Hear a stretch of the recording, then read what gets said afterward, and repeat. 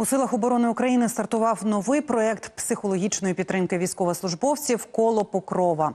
Це унікальна програма, що забезпечує психологічну та духовну реабілітацію бійців безпосередньо на фронті. Про це повідомили в оперативно-стратегічному групованні військ Хортиця. У межах проекту мобільні групи, у складі яких капелани і митці працюють у зоні бойових дій з оборонцями. Разом з майстрами народних ремесел бійці займаються гончарством, розписом, спілкуються під українські пісні. І більше про психологічну реабілітацію ветеранів та їх соціалізацію у житті поза лінією фронту розпитаю Наталію Стадніченко, психологіню е, у психологічній підтримці та реабілітації Вільний вибір. Я вас вітаю. Слава Україні! Героям слава! І пропоную почати одразу знаєте, з такого терміну ПТСР, яке чуємо е, іноді в суспільстві, і хочеться поговорити наскільки треба бути обережним е, з використанням цього терміну і по відношенню до військовослужбовців і до цивільних. Ну насправді посттравматичний стресовий розлад це щось, що на слугу з 22-го року. І сам по собі посттравматичний стресовий розлад він виникає в меншої кількості випадків. І це стосується як військових досвідів, так і досвідів ну, там, де ми стикаємося з травматичними подіями там в цивільному житті.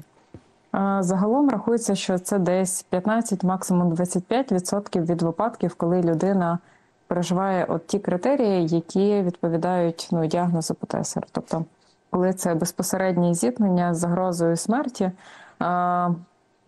Або присутність при фактичній загибелі там побратима або близької людини.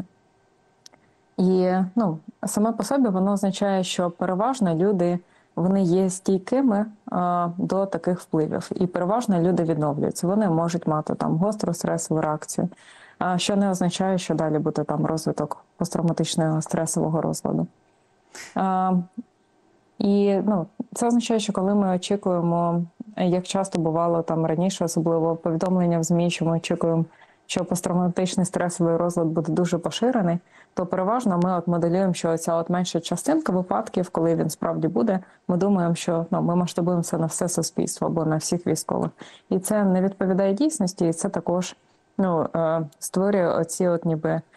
Коли ми стигматизуємо або хибні очікування, що у нас з'являється якась симптоматика, і замість того, щоб думати про це про таку транsiторну переходящу симптоматику, ми думаємо, що це вже усталиться, і починаємо моделювати там негативні прогнози. І маємо негативні очікування там від людей, які знаходяться в зоні ведення бойових дій, ну і від ну, психічного здоров'я українців в цілому. Насправді люди є набагато більш такими резилієнтними, стійкими до травматичних впливів.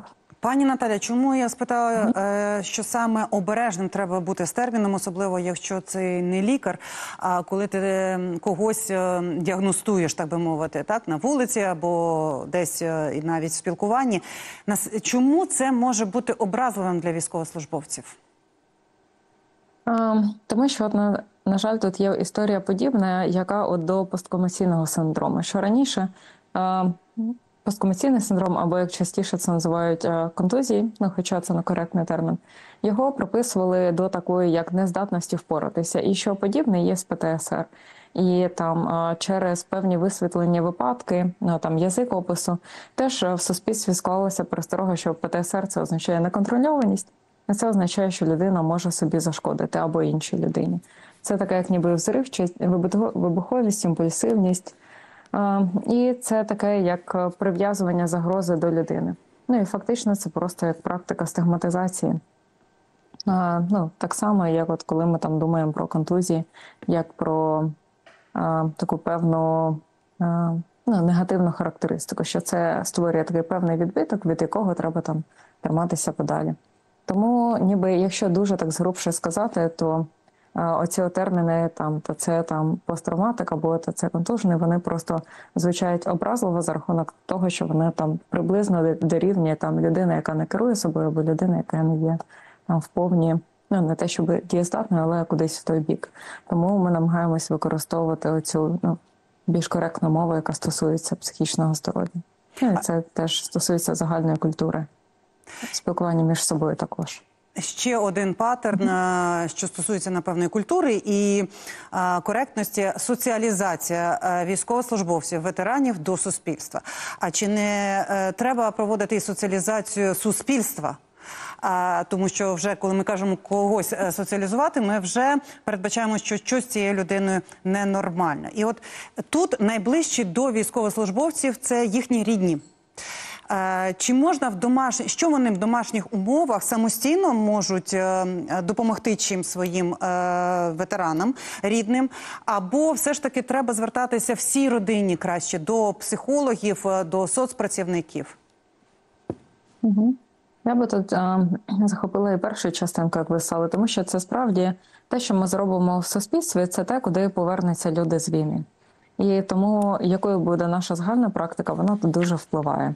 Це фактично буде їх середовищем соціалізації, де або їх розуміють вже і їх особливості е, більше, що просто означає особливості, які людина набуває впродовж того, як вона несе службу, там ну захищаючи суспільство, де вона живе. Е, і ну, від цього загального буде також е, залежати і те, з яким ставленням людина стикнеться в сім'ї, з яким розумінням. Тому що якщо розуміння і ця міра кооперації вони в суспільстві будуть більші, це також ну, буде якоюсь мірою присутнє в сім'ї. Якщо говорити вже суто про сім'ю, то ну, в принципі було б бажано, щоб в період служби також е, був там певний супровід е, членів сім'ї, щоб принаймні вони могли б мати там окремі консультації, там, де вони можуть знати, чого очікувати, що вони можуть зробити в період служби. Частково це може там бути десь е, в цивільній сфері, там від громадських організацій, як держав, е, ніби ну, е, інформаційні ресурси. А частково це робиться там представниками, представниками частини, якщо для цього є достатньо ну, там, кадрів і часу, тому що там в тому числі. Е, Там є посадові особи, які там контактують з родинами, які там звіряються чи там змінюється стан, які можуть надати теж якісь консультації. Тобто, якщо є оця от робота, яка супроводжує сім'ю і підготовлює, і якщо сім'я проходить з військовослужбовцями ці основні періоди змін, це є дуже помічним, бо вони краще розуміють, що відбувається з їх близькою людиною і в якому стані вона виходить.